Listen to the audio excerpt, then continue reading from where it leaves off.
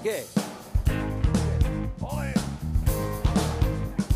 Sono una rarità in tutta la città. Dimostri come me, cerca in giro ma non ce n'è. Un occhio guarda là, l'altro l'opposto va. Quanto alle gambe poi, sono due, non ci giurerei. Ah, ah, ah, ah, ah. Direttore, porca che sorpresa, Marco Travaglio! Che meraviglia! Eh già che noi ci lega questa cosa di Renato Zero. Siamo sorcini. Siamo sorcini a diverse generazioni, però devo essere sincero, noi abbiamo fatto tante serate cantando Renato Zero. Karaoke. E tu, e tu, e tu le sai tutte, meglio di me. Me- Meglio di lui forse. Meglio di lui. alcune se le dimenticate Sì, lui se le scorda. È un onore averti qua ed è un privilegio perché, come hai visto, è la prima volta per me su Rai 3, per me è un battesimo.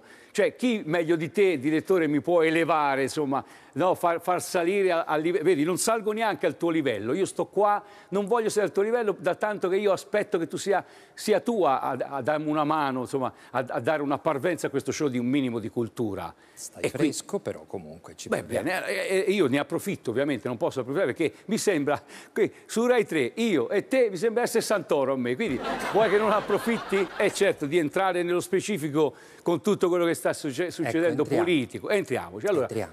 Posso farti delle domande? Vai, vai, Bene, certo. bene. Allora, tutti corrono alla corte di Draghi, il PD con Salvini, 5 Stelle con Forza Italia. Che pensiero c'è dietro? Mi vendo la grinta che non hai. In cambio del tuo inferno ti do due ali, sai. No, no, no, no, no, mi vendo un'altra identità. Ti do quello che il mondo distratto non ti dà. Direttore, io qui mi devo dissociare eh, su questa tua risposta. Eh no, sono parole veramente molto pesanti. Me eh. assumo la responsabilità. Lo so, domani come so, al solito saranno le solite ripercussioni. Ma secondo te, direttore, risposta secca, eh? Ambaramanco, come si dice? Va bene. Pensi che PD, l'EU e 5 Stelle, l'alternanza che ha sostenuto Conte, possa avere un futuro anche elettorale? Il triangolo no, non l'avevo considerato, d'accordo ci proverò. La geometria non è un reato, garantisci per lui, per questo amore un particolato, uh, mentre io rischierei, ma il triangolo io lo rifarei, perché no?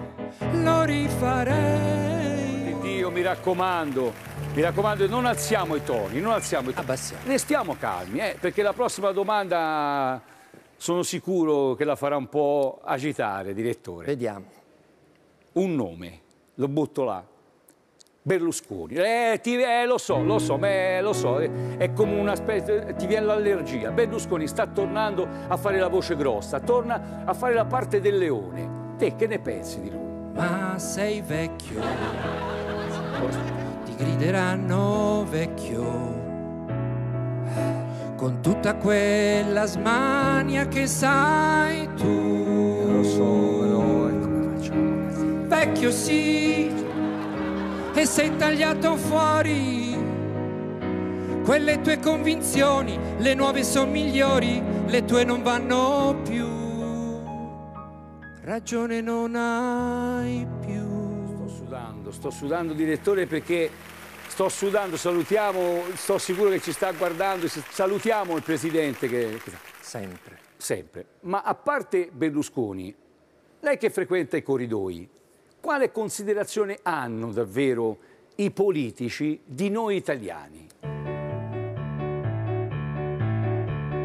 Manichini senza volto, senza età, fili sottili uniti per banalità. Un destino uguale, una stessa verità. Il manichino un'anima e forse non lo sa. Parole pesanti, parole pesanti, eh, ma quanto sono vere. Per finire, per ringraziarti, alle volte do del lei, alle volte del tu, ma uguale, ti do del tu. Per ringraziarti, direttore, diamo una speranza ai nostri concittadini che ci stanno seguendo. Come si esce? Come facciamo a uscire da questa palude politica? Affittiamoci un canotto e prendiamo largo verso il mare blu. Oh cara, remo un po' io, remi un po' tu. Hai portato il gorgonzola, le uova, cioccolato e te. Oh cara, cosa farei senza di te? Grazie a Marco Travaglio. Grazie.